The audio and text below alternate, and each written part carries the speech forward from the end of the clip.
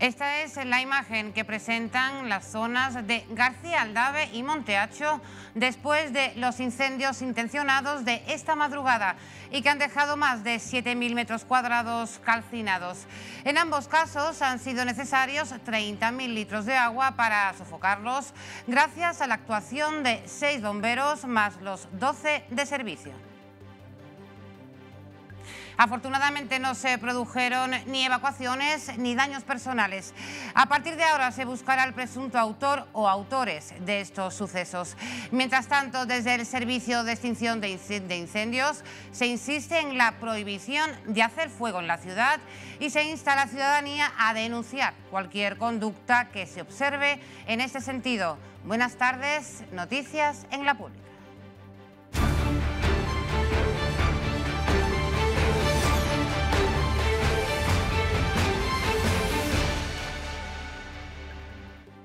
La Policía Nacional ha detenido a un interno del CETI acusado de sendos delitos de agresión sexual y robo con violencia e intimidación. El visionado de las cámaras fue pieza fundamental en el esclarecimiento de los hechos. El detenido carecía de antecedentes policiales. Hoy, 12 de julio, se celebra el Día de la Justicia Gratuita y el Colegio de Abogados de Ceuta ha vuelto a salir a la calle para exigir mayores remuneraciones para el turno de oficio. Los colegiados españoles adscritos a este servicio cobran una media de 178 euros por caso penal, mientras que en Italia la remuneración alcanza los 1.141 euros y los 2.000 en Noruega la remuneración eh, cada día es más escasa porque claro, no se aumentan los baremos, se nos obliga a realizar actuaciones en las que no cobramos absolutamente nada, pues eso, también disuade, disuade a muchos compañeros en estar en el turno de oficio, porque claro, trabajar gratis, uno puede, uno sabe que está cumpliendo una función social y en el fondo sabes que el trabajo que se te va a remunerar siempre va a ser poco remunerado, pero ya llega un momento en que ya no es que sea poco remunerado, es que la remuneración es indigna, es decir, no es digno que una persona eh, se le exija la responsabilidad que se nos exige, el esfuerzo que se nos exige, el trabajo que se nos exige para prácticamente no trabajar. Eh, viene a ser como un poco de desprecio. El Consejo de Administración de Servilimce ha aprobado hoy el nombramiento de Luis de la Barrera como director gerente. La propuesta de ingresos y gastos de la nueva sociedad para lo que queda de año, así como su tramitación para la incorporación al presupuesto de la ciudad. Igualmente se ha acordado la subrogación de toda la plantilla de trace que deberá realizarse con expedientes individuales, procedimiento administrativo que comenzará la semana próxima y estará culminado para el inicio previsto de la actividad de la nueva empresa el 1 de septiembre.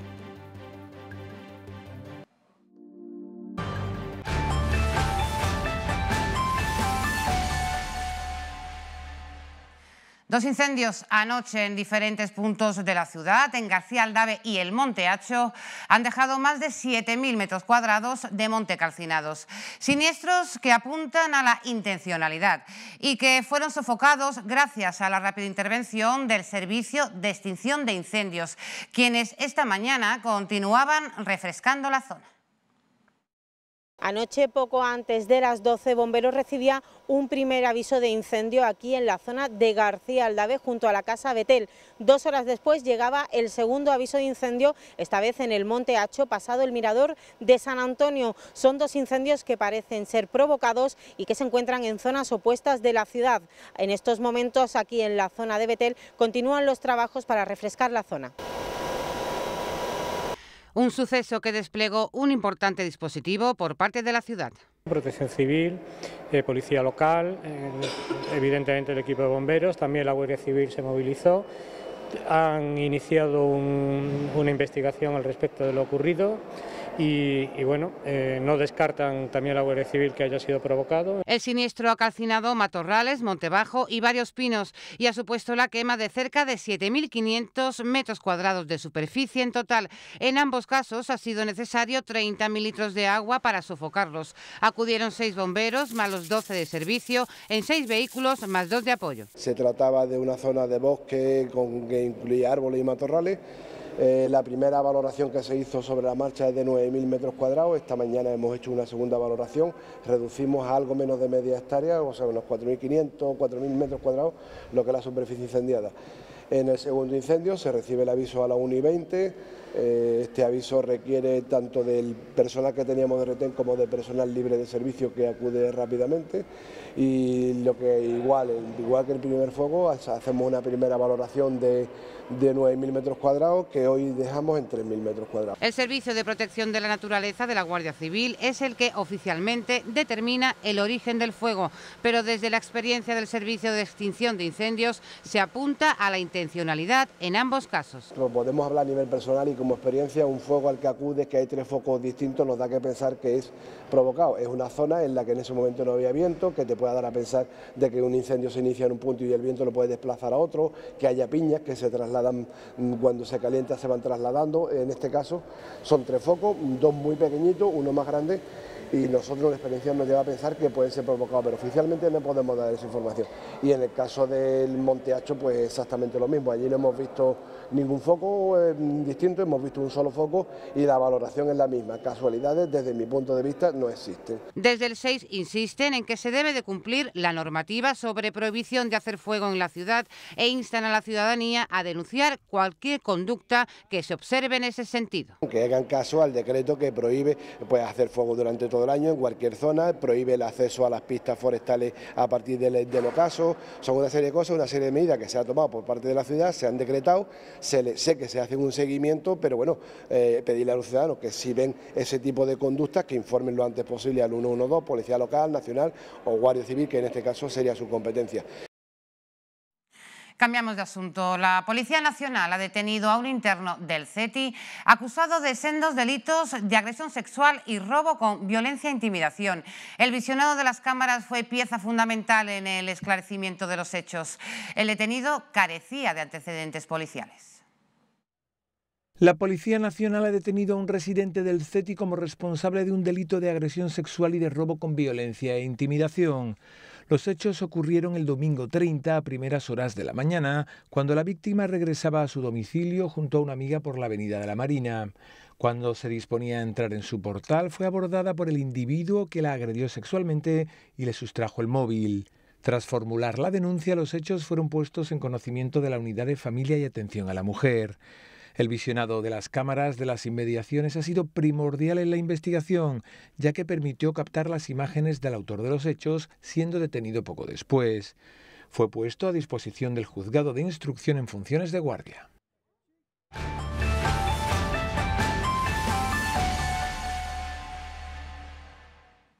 Tras la conferencia sectorial de Juventud e Infancia, siguen las reacciones ante la postura de los diferentes partidos políticos. Desde el Movimiento por la Dignidad y la Ciudadanía se han mostrado a favor de que se reforme la ley de extranjería y que el reparto de estos niños esté regulado a través de la normativa. Y se ha criticado el uso partidista de este tema. Sobre la ruptura de los gobiernos de Vox y el Partido Popular, Fátima Hamed lo celebra. La líder del MDIC ha sido clara ante los micrófonos de Radio Televisión Ceuta sobre la reforma de la ley de extranjería. Fátima Hamed se ha mostrado a favor de esta reforma y de que la actuación respecto a los niños que llegan solos a nuestro país y su reparto entre territorios esté regulado. Esa solidaridad a la que se apela en la, actualidad no deja de ser un simple parcheo. Nosotros nos parece que lo que hace falta es una reforma de la ley de extranjería, una modificación de ese artículo 35 que suponga pues, una regularización y que esté ya establecido por ley cuál va a ser la actuación respecto a los menores migrantes y que se deje de jugar especialmente, como digo, con, un drama que lo es eh, y que se deje desde luego de señalar y de criminalizar por parte de la ultraderecha, como también hemos visto que se ha venido haciendo. Se ha mostrado crítica con el uso partidista que considera se ha dado desde formaciones como PP o PSOE a un tema tan importante como son los menores. Como lo hemos estado viendo en las últimas horas en nuestra ciudad, en el que hemos visto que tanto por parte del PP de Ceuta como por parte del PSOE de Ceuta parece que estaban jugando un partido de ping-pong olvidándose de que estamos hablando de un colectivo tremendamente vulnerable. También ha pedido más inversión para poder gestionar adecuadamente la acogida de estos menores, no solo desde nuestro país, sino también a nivel europeo. Estamos ubicados geográficamente en un punto estratégico y hace falta que eh, se nos ayude, que se ponga el foco en Ceuta, no solo cuando se dan determinados momentos de crisis puntuales, sino con una situación que dé más estabilidad. Sobre la ruptura de Vox con los gobiernos populares autonómicos que acojan a estos niños desde el localismo ceutí, se celebra. A enemigo que huye, puente de plata. Ellos han tomado una decisión basada en esa ideología ultraderechista que tienen, en esa ideología en la que criminalizan y en la que señalan que estas personas migrantes vienen con machetes y vienen a violarnos prácticamente a todos los españoles cuando todos sabemos que la realidad es absolutamente contraria. Por lo tanto, creo que el posicionamiento de la ultraderecha está claro. Es, positivo que se hayan quitado la máscara para que todos los españoles veamos cómo piensan realmente estas personas y creo que es más positivo aún que se trabaje por parte de todas las formaciones democráticas para excluirles definitivamente de todas las instituciones en las que tienen representación. Vox arremete contra el presidente Juan Vivas y advierte de que es uno de los máximos responsables de que la presión migratoria se vaya a incrementar en los próximos meses. Y es que esta formación afirma que los populares saben que por cada mena que envíen a la península, Marruecos nos enviará 10 más. Es por esto por lo que, según Vox, que el Partido Popular participe de este traslado de inmigrantes lo hace cómplice de la extorsión marroquí. Por su parte, el presidente de Canarias, Fernando Clavijo, ha insistido en que el reparto de menores acordado esta semana es solo una solución provisional. Por ello espera que la semana que viene pueda aprobarse un decreto ley que modifique la ley de extranjería y establezca por fin la obligatoriedad de que todas las regiones se hagan cargo de una parte de los menores de Canarias, Ceuta o Melilla. Nosotros de Canarias seguimos exigiendo o pidiendo que sea un decreto ley, porque es lo que permitiría afrontar eh, la situación en la que nos vamos a ver de aquí a final de año. Piensen que el año pasado, eh, desde septiembre a diciembre, que es cuando las condiciones de navegación son mucho mejores, eh, vinieron 7.398 menores y este año todos los indicadores del Ministerio de Interior, del Ministerio de Asuntos Exteriores, de la propia Unión Europea y de los servicios de la comunidad autónoma indican que puede ser mucho más la gente que vaya a intentar llegar a Europa, porque al final lo que están intentando es llegar a Europa. Y esa respuesta que se tiene que dar, creemos que se tiene que dar desde un decreto ley, porque sería de inmediata aplicación y permitiría pues sacar todo lo que ahora mismo, según los, acuerdos que hemos tenido, supera la saturación, que son los 3.000 de Canarias. Serían aproximadamente unos 2.600 más los que llegasen, que ya no se quedarían en Canarias, sino que serían reubicados en las distintas comunidades autónomas. Eso tiene que tener una respuesta inmediata y es lo que le pedimos al Gobierno de España.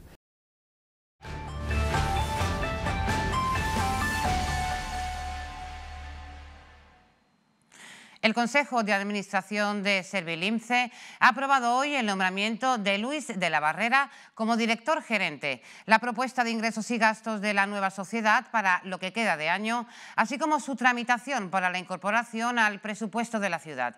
Igualmente se ha acordado la subrogación de toda la plantilla de TRACE que deberá realizarse con expedientes individuales, procedimiento administrativo que comenzará la próxima semana y estará culminado para el inicio previsto la actividad de la nueva empresa el 1 de septiembre. También se ha dado el visto bueno a la subrogación de los distintos contratos de trace que son imprescindibles para la continuidad de la prestación del servicio. En el Consejo de Administración de Servilince, Ceuta ya ha sido la única formación que ha votado en contra del presupuesto y del gerente propuesto, Luis de la Barrera Ramos. Una persona que viene de fuera y que, según los localistas, debería conocer la realidad ceutí. Además, critican que se le vaya a pagar 90.000 euros anuales. Con respecto al presupuesto, el representante de Ceuta ya en el Consejo de Administración ha hecho hincapié en que la ausencia de memoria económica de esta entidad. También Ceuta ya ha manifestado su descontento al respecto de las pocas plazas ofertadas para los diferentes ciclos formativos. Una falta de plazas que, en opinión del partido localista, condena a cientos de jóvenes ceutíes que además no cuentan con recursos económicos para irse fuera de la ciudad. cuando nosotros realizamos... El Partido Socialista reclama al Gobierno de Vivas la nueva ordenanza de terrazas, que según los socialistas lleva meses prometiendo. Este partido insta a la Consejería de Fomento a consensuar una nueva normativa para evitar el cierre de negocios en ese sector empresarial. El PSOE reclama al Gobierno de Vivas que desbloquee la ordenanza de terrazas. Recuerdan los socialistas que en enero el consejero responsable anunciaba una consulta para renovar y actualizar la ordenanza de terrazas, pero que todavía la están esperando. Y es que para el PSOE es urgente consensuar una nueva ordenanza que se adapte a la realidad de Ceuta, siempre respetando las normas urbanísticas de ocupación de espacios públicos, la necesaria protección del medio ambiente y el respeto a las exigencias de ruido. CESIF denuncia que los empleados públicos acumulan una pérdida del 6,8% desde la firma del acuerdo en 2022 entre Gobierno, Comisiones Obreras y UGT y de cerca del 20% desde los recortes de 2010. Por ello exige un nuevo acuerdo salarial vinculado al IPC con cláusula de revisión salarial que les permita recuperar la pérdida del poder adquisitivo. Así las cosas, este sindicato reclama iniciar ya con el Gobierno central la negociación del nuevo acuerdo salarial, así como la oferta de empleo público para 2025. Y hoy, 12 de julio, se celebra el Día de la Justicia Gratuita. Por tal motivo, el ilustre Colegio de la Abogacía en Ceuta ha llevado a cabo una concentración en la Plaza de los Reyes frente a Delegación de Gobierno. Este año han reivindicado una remuneración digna y justa para los abogados de oficio. El Día de la Justicia Gratuita es una jornada reivindicativa en la que cada año se procura tener un lema y una reivindicación concreta. Este año, bueno, nuestro lema es por una dignidad, o sea, por una remuneración justa, digna y puntual para los abogados de oficio. Los que estáis al tanto y nos habéis seguido durante todo el año, sabéis que llevamos haciendo muchas reivindicaciones en este sentido, porque después de, además del informe de la Unión Europea resulta que somos los abogados que estamos los terceros por la cola de Europa en cuanto a la percepción del turno de oficio, sobre todo en temas penales. Nuestra media por asunto viene a ser de 174 euros por asunto, cuando por ejemplo en países como Noruega o Suecia, son 2.000 euros. Desde el Colegio de Abogados de Ceuta consideran la media de 174 euros por asunto injusto, ya que se están remunerando procedimientos de divorcio, de violencia de género y procedimientos penales de todo tipo. España es, es uno de los países que más garantiza la asistencia jurídica gratuita dentro del contexto europeo, es decir, que el Estado sí eh, emplea, medios en que, la población más desfavorecida tenga bueno, pues asistencia jurídica en todos aquellos asuntos que lo necesiten. Lo que no puede ser es que los que asistimos a los más desfavorecidos también seamos desfavorecidos, es decir, que no tengamos una, remuneración digna y acorde con el trabajo que realizamos, con la función social que hacemos y con el esfuerzo que normalmente supone llevar un procedimiento judicial con todas las connotaciones que ello supone. A continuación, el Colegio de Abogados ha llevado a cabo su tradicional acto colegial en el que ha dado lectura al manifiesto y han hecho entrega de diplomas a los colegiados que cumplen 20 y 40 años en el turno de oficio.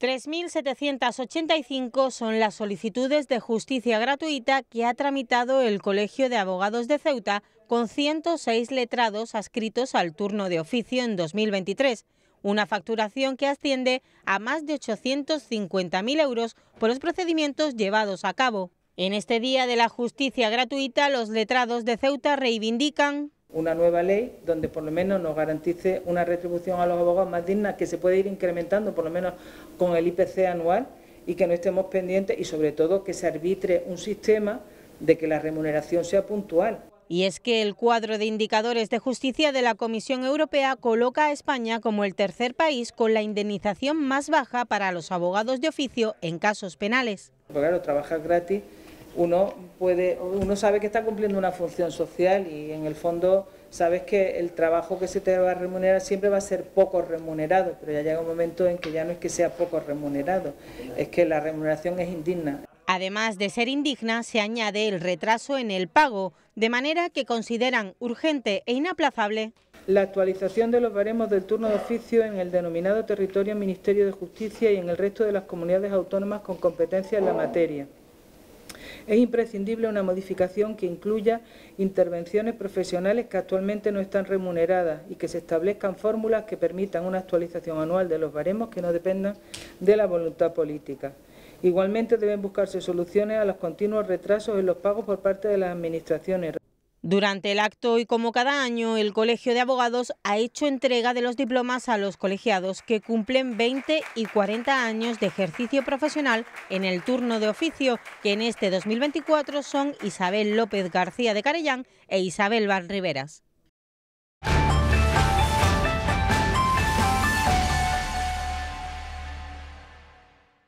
El campus Seré Ingeniera ha clausurado este viernes después de dos semanas en las que 50 chicas preuniversitarias se han adentrado en el mundo de las ciencias y las tecnologías, de forma paralela en los campus universitarios de Ceuta y Granada.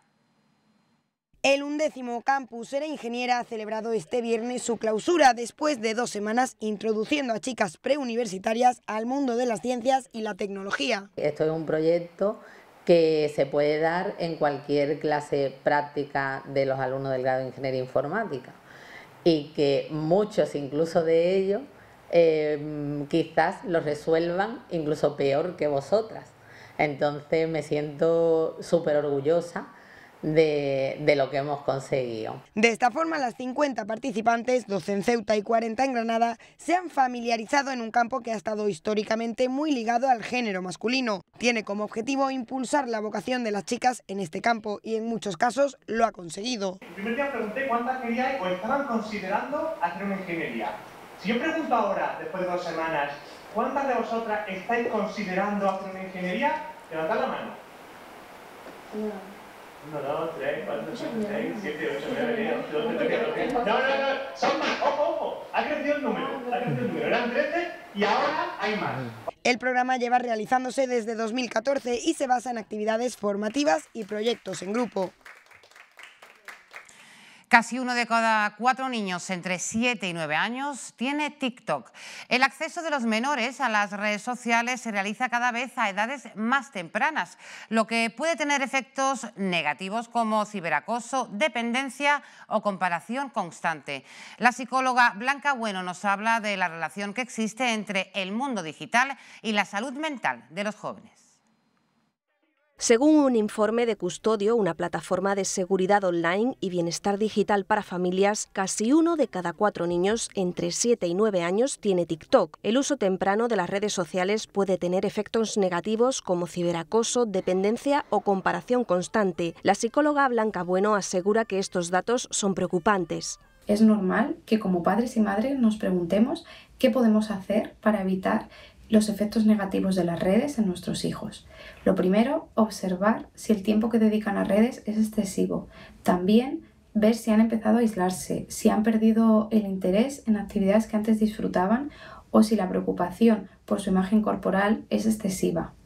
También debemos favorecer un diálogo abierto para que puedan hablar con nosotros con tranquilidad sobre su experiencia en redes sociales y desde luego, si vemos signos de problemas o algo que nos preocupe, consultar con un profesional. El uso excesivo de redes sociales puede causar problemas de salud mental, sobre todo en edades tempranas, en las que niños y niñas están en periodos de cambio y maduración. Uno de cada siete adolescentes tiene un problema de salud mental diagnosticado según datos proporcionados por UNICEF el abuso de las redes sociales es algo que nos afecta a todos, pero en mayor medida a los adolescentes por estar en una etapa más vulnerable. Es una edad en la que predominan las comparaciones y la búsqueda de reconocimiento por parte del grupo de iguales. Las redes sociales pueden aumentar estas comparaciones y pueden afectar a su autoestima. Además, el hecho de que sea online hace que pueda estar mucho más presente en el día a día. Porque esto es algo de lo que hablamos mucho cuando se habla de acoso.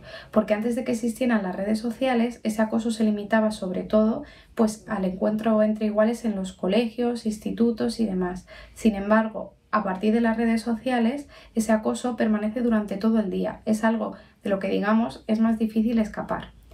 ¿Qué podemos hacer como padres y madres? Pues desde, luego limitar el tiempo que dedican a redes, pero también favorecer que realicen actividades que mejoran su bienestar físico y mental, como puede ser el deporte, la música o las quedadas con sus amigos. Además, debemos enseñarles a reconocer y gestionar sus emociones y a mantener relaciones saludables tanto en el mundo real, digamos, como en el formato online. Información, educación y diálogo abierto con nuestros hijos son algunas de las claves que Blanca Bueno recomienda para que la relación de los más jóvenes con el mundo digital no se convierta en algo peligroso para su salud mental. Determinar el momento en el que los adolescentes pueden empezar a usar redes sociales depende más de su madurez que de su edad. De nuevo, lo que debemos hacer es favorecer un diálogo abierto para que nos cuenten lo que ven y comparten en redes. Lo ideal es informar y educar de lo que se pueden encontrar en redes sociales Además, no se trata de prohibir, sino de favorecer un uso responsable de las mismas. Por otro lado, hay que establecer límites y supervisar su uso, dando espacio para que nos puedan contar e informar de posibles dificultades. Y este viernes hemos tenido un día de intenso calor. Para nuestras mascotas, con estas temperaturas hay que extremar las precauciones. El asfalto llega a producir abrasiones en las almohadillas de sus patas y los golpes de calor pueden llegar a ser mortales. Ante ello hemos hablado con profesionales que nos recomiendan seguir una serie de pautas. Nuestras mascotas, perros y gatos, son mucho más sensibles al calor que las personas. Por ello, ante las altas temperaturas veraniegas, se deben extremar las precauciones para evitar golpes de calor. Asegurarse de que a nuestro animal no le falta nunca el agua, que a nuestro animal no le falta un sitio fresquito donde descansar. Eh, hablamos a lo mejor pues, de una zona sombreada, eh, no debemos olvidarnos aquellos animales que viven en zonas con jardín, que muchos dueños no permiten la entrada en casa pues habría que asegurarse que en este caso sí lo hacen, porque bueno, ya sabemos que eh, las temperaturas que se alcanzan son muy elevadas y hay animales pues que permanecen a lo mejor atados en unas condiciones desfavorables. Entonces hay que evitar en todo caso eso. Mantenerlos fresquitos, pues quien tenga un jardincito pues con manguera o bueno, y el fácil acceso al agua de forma continuada. Las horas de paseo, las más fresquitas, primera hora de la mañana y última hora de la tarde. Tener cuidadito que no se quemen las almohadillas, porque bueno, el asfalto quema tela hay productos para mm, proteger las almohadillas de nuestros animales y que estén más hidrataditos y que sean menos susceptibles de sufrir desgarros, erosiones y abrasiones sobre todo. A través del jadeo, los perros regulan el exceso de calor, mientras que los gatos equilibran su temperatura lamiéndose. Sin embargo, cuando son mayores y sufren alguna patología, su percepción del calor disminuye y hay que estar más pendientes de ellos sobre todo porque hay muchos animales que a partir de cierta edad ya empiezan a tener patologías, entre ellas patologías cardíacas, entonces sí que requieren un, cuidado mucho mayor. Habría que hacer visitas a su veterinario ¿no? para comprobar que eh, los tratamientos están ok, porque por ejemplo aquí tenemos muchos cardiópatas que en esta época del año sufren empeoramientos, entonces es muy importante hacer las revisiones llegadas a esta época del año. En el caso de que nos vayamos de viaje, es aconsejable llevar un kit para atender cualquier imprevisto, además de llevarlo siempre en el vehículo, en un transportín o en un arnés y atado a un cinturón de seguridad. Lo ideal es educarlos desde chiquitos para viajar. Sí que es verdad que es una situación nueva, que como toda situación nueva produce un estrés y una intranquilidad. Los animales acusan mucho ese nerviosismo. Entonces, en el caso de Ceuta, que tenemos que coger un barco, luego el coche, es un estrés añadido. Sobre todo, la horita del barco es cañera. Y luego, una vez que viajan, pues llevar con nosotros un kit de emergencia de primera mano, pues que te digo yo, a lo mejor un botecito de cristalmina para las heridas, un, un blister a lo mejor de antiinflamatorio si son animales que padecen de la espalda, algún protector gástrico específico de animales si son animales delicaditos de la barriga, un paquete de empapadores, los cinturones de seguridad los venden en cualquier tienda de animales y nunca, nunca, nunca van cogidos al collar. Habría que comprar un arnés y un cinturón de seguridad con el objetivo de que si damos un frenazo el animal va cogido de aquí y no va cogido de aquí y se ahoga. Y en el caso de que se mareen en el coche, a día de hoy tan solo se les puede dar productos naturales. El principio activo fundamentalmente para perros es el triptófano, que a lo mejor lo conocéis porque en humanos se usa mucho, y en gatos la nepeta cataria, que es una menta gatera que los deja un poquito con un rollito muy guay.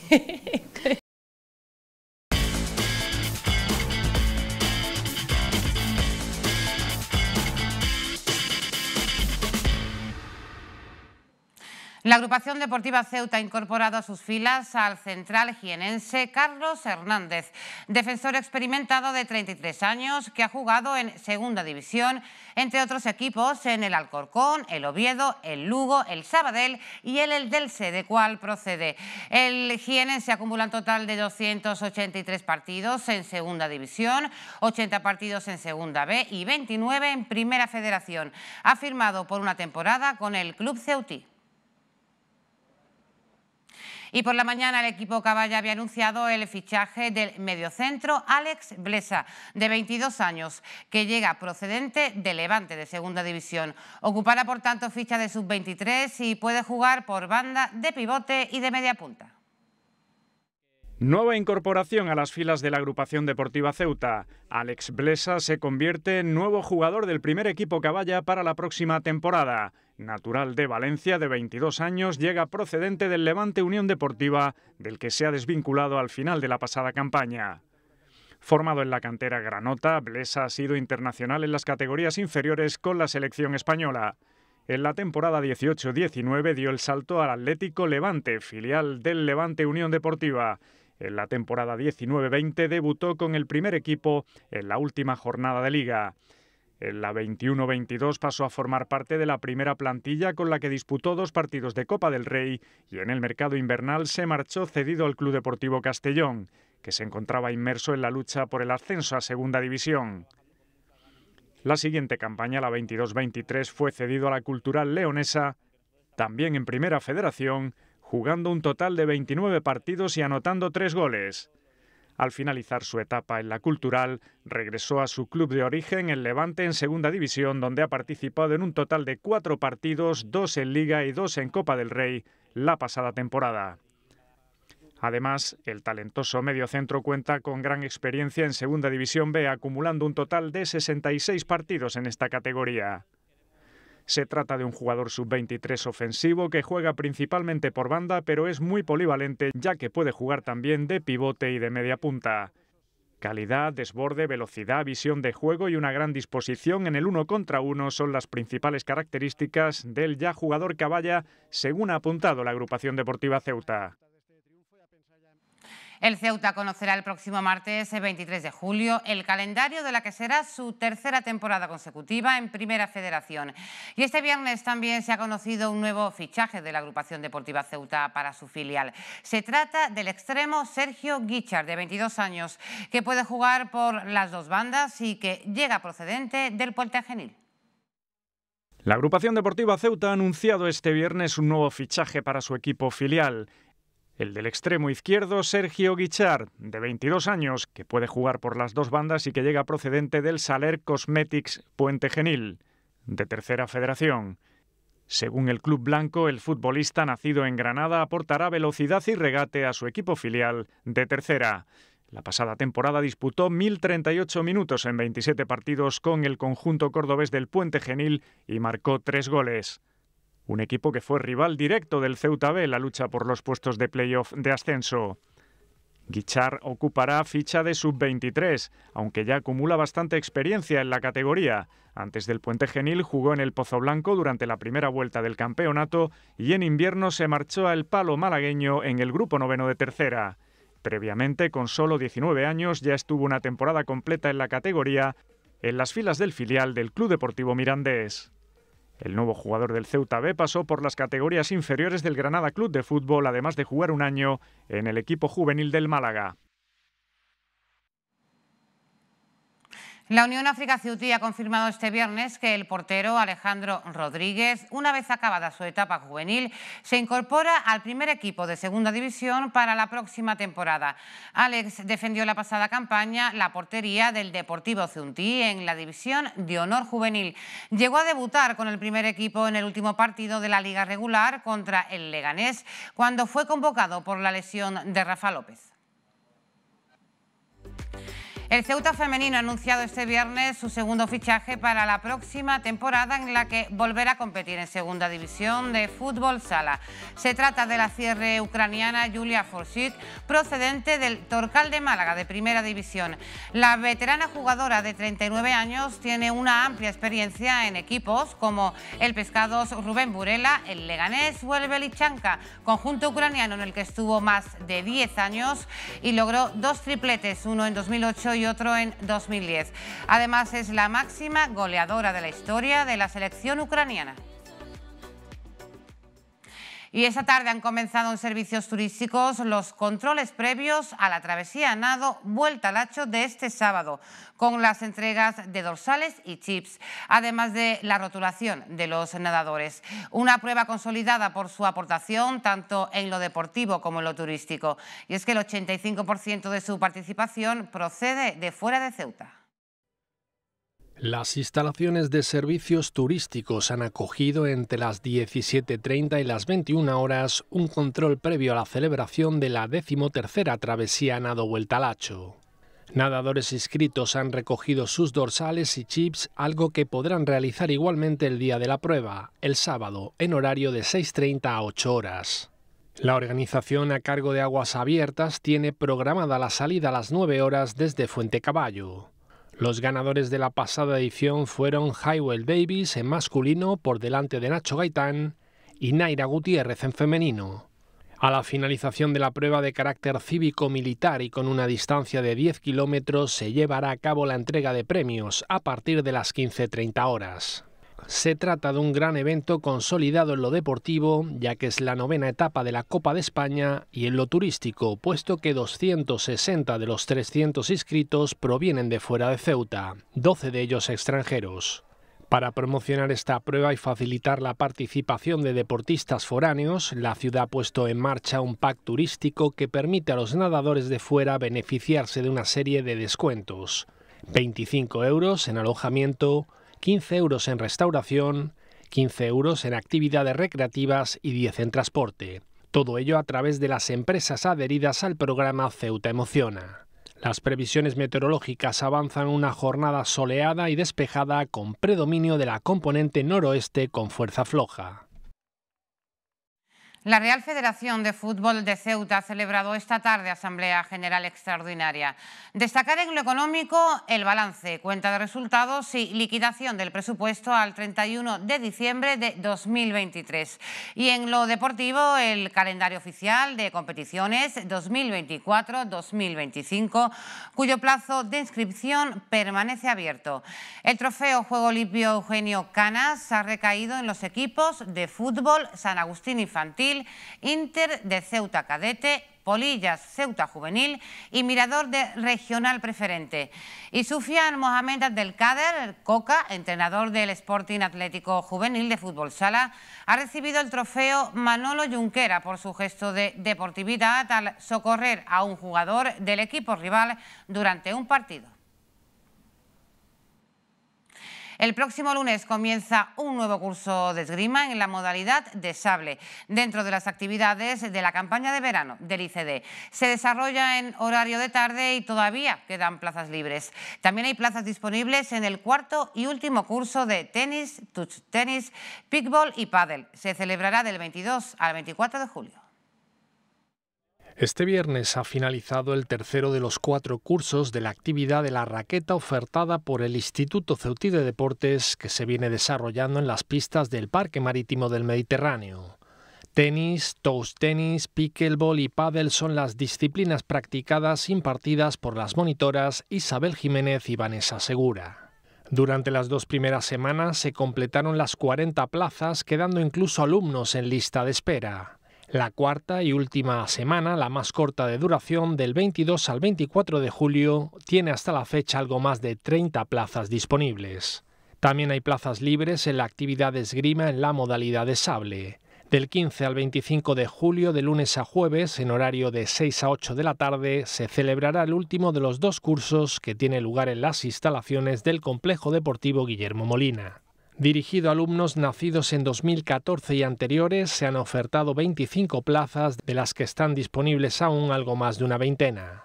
Las inscripciones pueden realizarse presencialmente en las oficinas del ICD previa cita y de manera online.